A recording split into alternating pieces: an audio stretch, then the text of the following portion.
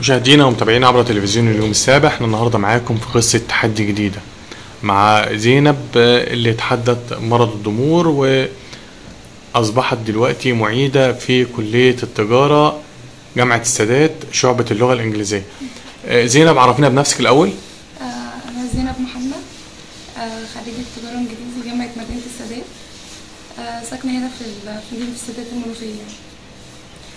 قولي لنا بقى قصتك بدأت إزاي؟ آه، هي البداية خالص إن أنا كنت عادي يعني ما كانش في أي مشكلة صحية أو كده آه، وبعدين بدأ بقى تدريجي إن أنا كل حاجة مش عارفة أعملها المشي بصعوبة ال- الحركة آه، أبسط حاجة أنا مش عارفة أعملها يعني آه. ما كناش بقى فاهمين الموضوع في الأول لأن إحنا ما عندناش حد يعني كان نفس الحالة الصحية وكده مم. آه، وبدأنا بقى نروح لدكاترة كتير وأي حد يقول لنا دكتور كنا بنروح وكده بس يعني ما كانش حد عارف يوصل لتشخيص دقيق كان عندي يعني.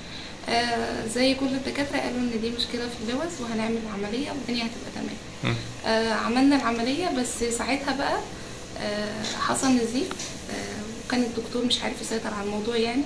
من بعد العملية بقى ابتدت كل حاجة للأسوأ يعني آه، اللي كنت بعمله مبقتش بعرف أعمله.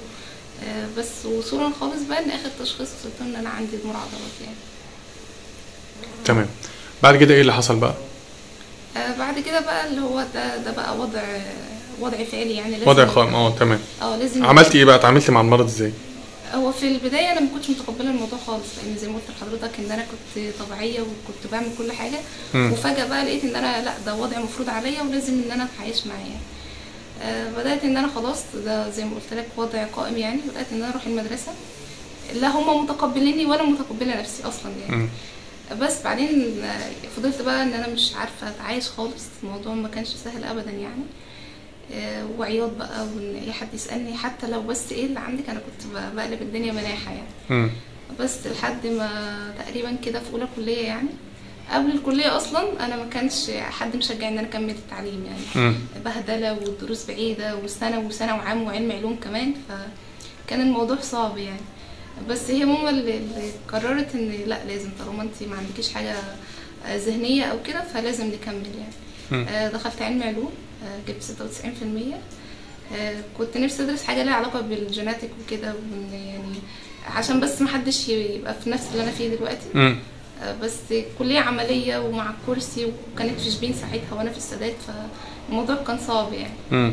آه، فدخلت تجارة إنجليزي ما كنتش حابة الموضوع خالص في البداية وإزاي أنا ابقى جايبه 96 وأدخل تجارة. فبدات ان أنا من اول سنة بقى آه، بطلع من الأوائل يعني ما بين الثالثه والرابعة.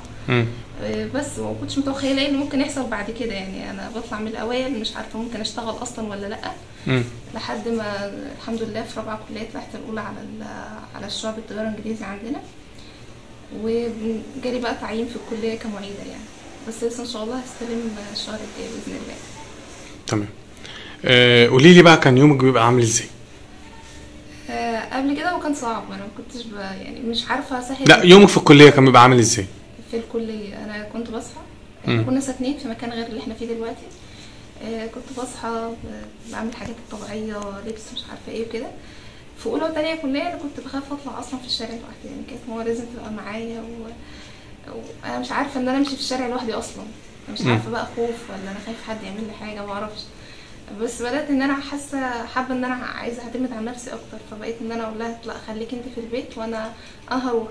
فكنت بروح الكلية وشوية شوية بقى هي كانت برضو بتقلق عليا. يعني تقعد تتكلم مع على طول أنت فين؟ طب روحتي؟ طب ليتي آه، بس الموضوع بقى بعد كده يعني تأقلمت كنت. بعيط مثلا في الشارع لو حصل موقف ضايقني أو كده. كان في حتة كده بقعد أعيط فيها آه، وأمسح دموعي وأروح لها الدنيا تمام مفيش أي حاجة. مم. بس ف... احكي لي بقى على معاملة الدكاترة معاكي في كلية التجاره تمام آه، هو بص كان في دكاترة كويسين جدا يعني لحد دلوقتي ما- شفتش منهم من حد حاجة وحشة ليها علاقة مثلا بظروفي أو كده ما مم. بالعكس هم بس كانوا معتضين من فكرة إن إن طالبة على كرسي أول مرة تجيلهم هي دي بس مم.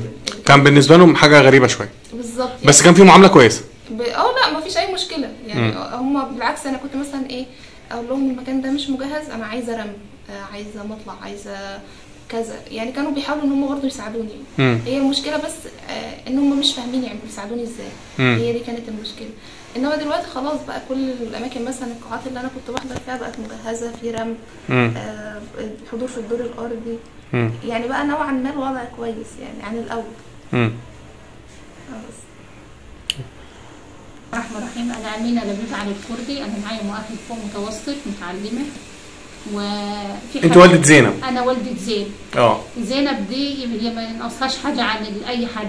زينب. اتحدت ظروفها واتحدت كل حاجة وأنا تعبت معاها. أنا كنت بمشي من ابن بيتك للرابعة بالعجلة اللي بتنزق آه مسافة حوالي 4 كيلو. آه. آه. يعني أنا دوبت أربع كراسي من اللي بيتزق. ما بالك اللي بتمشي بيهم بقى. تمام. والحمد لله أنا أنا واخدة الأم المثالية السنة دي على محافظة المنوفيه